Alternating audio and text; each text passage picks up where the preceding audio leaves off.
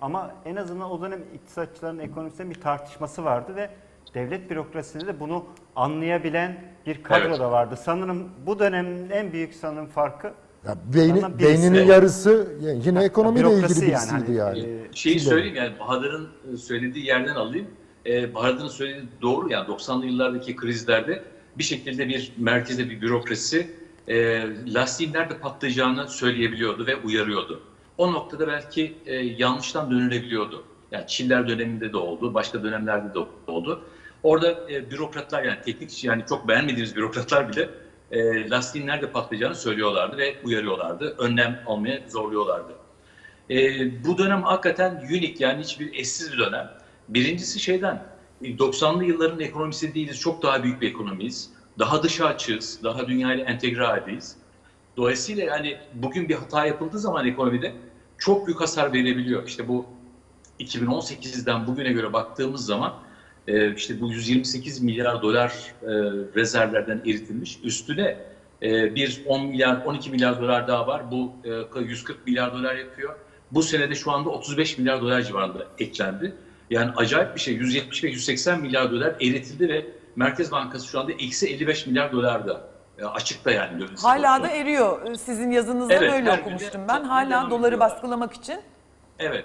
Şimdi böyle bir dönem hiç yaşanmadı. Ee, az önce de söylediğim gibi e, enflasyon %90'dayken işte Merkez Bankası faizi %90'da tutuyordu. Yine durumu idare edebiliyordu kırılmadan çok fazla. Ama şimdi acayip bir dönem yaşanıyor. Bütün ekonomide e, herkes şaşkın. Vatandaş öyle yoksullaşıyor. İş kesimi, iş yapanlar, şirketler yani fiyatlama yapmakta zorlanıyoruz diyorlar şirketler. Mal bulamıyor kimisi, kimisi fiyatlama yapmakta zorlanıyor. Bugün verdiği fiyatı yarın e, deklare edemez hale geliyor. E, dolayısıyla hakikaten e, başka ülkelerin iktisatçıları için deneysel bir ortam burası ama bizim için de çok sancılı ve üzücü. Yani bunlara tanık oluyor olmak. E, hiçbir şekilde anlamlandıramıyoruz. Ama Ankara'da siyaseti yönetenler şöyle bakıyorlar. E, biz nasıl olsa bu geçmiş yani son 20 yıl kastediyorum.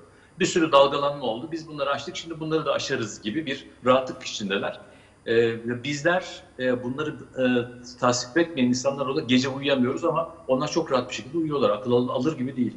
Şimdi devam Ben edeceğiz şey- hocam. Bir araya girip şey Ha, yapabilir miyim tamam. bırakacağım. Ce- Kemal Kılıçdaroğlu bugün e, Cumhurbaşkanı Erdoğan gezi eylemcilerine sürtükler demişti. Önce Erdoğan'ın o e, sözünü bulup okumak istiyorum. Ona CHP Genel Başkanı yanıt verdi. Erdoğan demişti ki tarihimize gezi olayları adıyla bir ihanet, bir utanç, bir vandallık vesikası olarak geçen hadiselerin 9. yılındayız. Düşünün Dolmabahçe Camii'nin içinde bu teröristler, eşkıyalar bira şişeleriyle caminin içini pislemişti. Bunlar böyle, bunlar çürük, bunlar sürtük dedi. Bugün partisinin grup toplantısında çok konuşuldu bu hakaret, e, hatta bence küfür.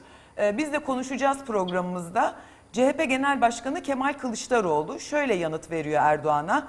Erdoğan milletimize seslenmişsin. Sürtükler, eşkıyalar, teröristler, çürükler, fukaralar havada uçuşmuş. Kadınlara küfreden sana bir tavsiyem olacak.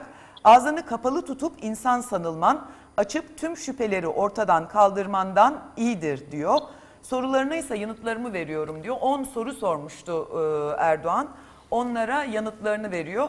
Bu meseleyi olağan işlerde uzun uzun konuşacağız. Ama e, bu mesele niye var? Ekonomileri, ekonomiyi niye konuşmayalım? Aslında bunun için e, konuşuluyor bu. Bu arada bir son dakika daha CHP Genel Başkanı Kemal Kılıçdaroğlu yine 22'ye randevu verdi. Hemen bakıyorum o tweetine. 22'de CHP Genel Başkanı 23 mü? Evet, danışmanlarım ve dok- danışmanlarını ve doktorlarını çağır saat 23'te ben de sorularımı soracağım. A Haber'i de mutlaka ara, hazır ola geçsinler. Derin derin nefes al, bakalım yanıt verecek yüreğin var mı? Evet, Kemal Kılıçdaroğlu sorularını soracak. Muhtemelen de bir video yayınlayacak yine.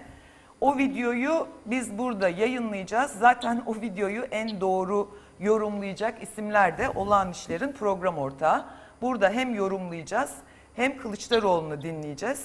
Ee, peki bunlar niye konuşuluyor? Bu sürtük, mürtük, baskılar, yargı kuşatması niye var? ekonomi konuşulmasın diye. Biz bunları da konuşacağız. Ama şimdi Uğur Gürses bizimle bir ekonomiye dönelim yine. Mustafa'nın bir sorusu vardı. e, soru değil de devam etme e, açısından hani bütün her şeyi bu kadar e, görüp e, ne olacağını da bilmek cidden rahatsız eder. Hani söyledin zaten uykuda uyuyamıyorum diye. Ama böyle bu hani ezberi de olmayan bir e, buhran bu. Krizi de geçti Evet. bence. Büyük bir buhran ve Türkiye böyle bir şey hiç yaşamadı.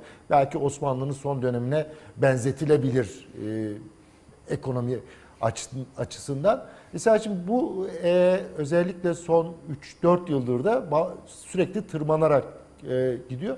Burada böyle eyvah bu ya böyle bir şey olamaz bu mümkün değil denilen şey neydi sizin için mesela?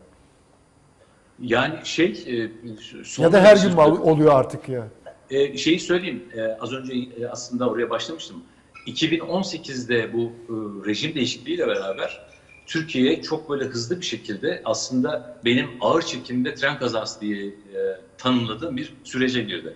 İçindeyiz ve bunun duvara çarpacağını biliyoruz ve böyle e, tren gidiyor. E, dolayısıyla hani o süreçte yaşanan her şey ya akıl alır gibi değil diye düşündüğüm bir, bir sürü şey oldu aslında. Ve e, bütün o şeyler, e, kurşunlar tüketildi e, iktidar tarafından. Tavşan, yani şapkadan tavşan çıkarma şeyin e, mecrası. E, benim özellikle son dönemde e, akıl alır gibi değil dediğim şey bu enflasyon meselesi. Yani geçmişte 90'lı yıllarda gerçekten bir siyasi tercih kullanılıyordu. İşte Özallı yıllar, işte Çillerli yıllar. Ekonomi büyüsün, e, enflasyon %90'da seyretsin, biz kontrol ederiz düşüncesi vardı. Eh biraz da kontrol altında kalıyordu hani 90'lı 80'li seviyelerde. Çünkü Merkez Bankası faizi 80-90'larda tutuluyordu. Enflasyon kadar faiz vardı. Ee, o zaman tabii sermaye hesabı açık değildi. Bir şekilde daha iyi kontrol edilebiliyordu. Döviz hesabı o kadar e, açık değildi. Ee, şey söyleyebilirim. Şimdi tamamen bu şeyden çıkmış durumda. Yani raydan çıkmış durumda. Ee, dediğim gibi yani e, sizin bankadaki mevduatınız %20 faiz alırken enflasyon %80'de. Paranız yerinde yani 3 kuruşunuz 5 kuruşunuz fark etmez. Maaşınız aynı şekilde. Ee, maaşınızı yatırım fonu alsanız, mevduata yatırsanız işte bir ay kalsın harcayayım diye e, %20 faiz ancak alıyorsunuz alabiliyorsanız. Ama e, enflasyon %80'lik bir hızla gidiyor. Bütün TL varlıkları eriyor. Yani e, dolayısıyla dediğim gibi başta söylediğim gibi gümbür gümbür bir yoksullaşma şeyi e, süreci yaşıyoruz. Çok hızlı bir şekilde hem de. E, işte bunu akıl, al, akıl almaz bir süreç diye tanımlıyorum. Başka bir şey değil. Hani iktisat politikası yanlış olabilir, ih- ihracatta bilmem ne yaparsınız. Bunların hepsi bir şekilde yerine konulabilir. Ama bu hızlı yoksullaşmayı ne kadar e, ne kadar zaman alacağını e, telafi etmenin e, kestiremiyorum açıkçası. Ayşe. Yani bundan sonra ancak şu olabilir. Çok güçlü bir sosyal destek programıyla ancak bu e, onarılabilir diye düşünüyorum.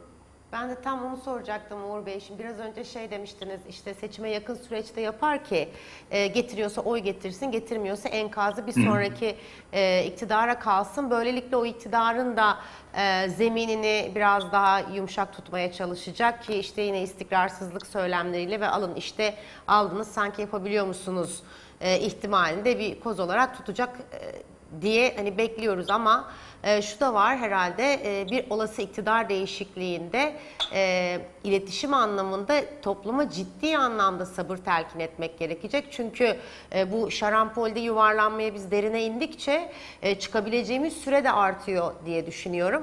Ama hani şöyle bir öngörü yapılabilir mi? Yani bir ekonomist gözüyle e, hala alınabilecek bazı hız- hızlı tedbirlerle toplum genelinde nispi şu kadarlık bir rahatlama ya da en azından durumu stabilize etme ve hani şu vadede e, en azından yani bir dönemde iki dönemde bu iş toparlanabilir gibi bir öngörü yapabiliyor mu şu an ekonomistler? E, çünkü açıkçası hani altılı masadan da net belki bir ekonomi şey çıkamayışının sebebi sürekli daha da dibe gidiyor olmamız olabilir. Çözüm de kısa değil orta ve uzun vadeli olacak belli ki. Evet, yani kısa vadeli için şunu söyleyeyim e, seçim öncesi için. Bu haliyle, bu gidişatla e, işlerin daha da kötüye gideceği çok açık yani herkes için. E, çarklar dönüyor olabilir ama bu çarklar dönerken herkes yoksullaşmış olacak. Bir, e, zaten ben Türkiye'deki ekonomik e, sorunların çözümünün bir ekonomik reçeteyle olamayacağını düşünüyorum şu anda. E, Türkiye'de siyaset normalleşmeden, hukuka dönmeden e, ekonominin toparlanması mümkün değil. Ama şu konuda çok iyimserim. Bir e, seçimle e, sandıkta iktidar değişirse Türkiye'nin e, her türlü krizden çıkma kapasitesi çok yüksek her zaman için. E, düştüğü yerden hızlı çıkabilen bir Türk, ülke çünkü burası. Daha dinamik, e, reel sektörüyle, çalışanlarıyla. Dolayısıyla ben seçim sonrası normalleşmenin hızlı bir şekilde olabileceğini düşünüyorum. Siyaset normalleşirse ekonomide toparlanır. Kimsenin hani umutsuz olmasına gerek yok diye düşünüyorum. Özellikle ben ekonomiye bakarak söyleyebiliyorum.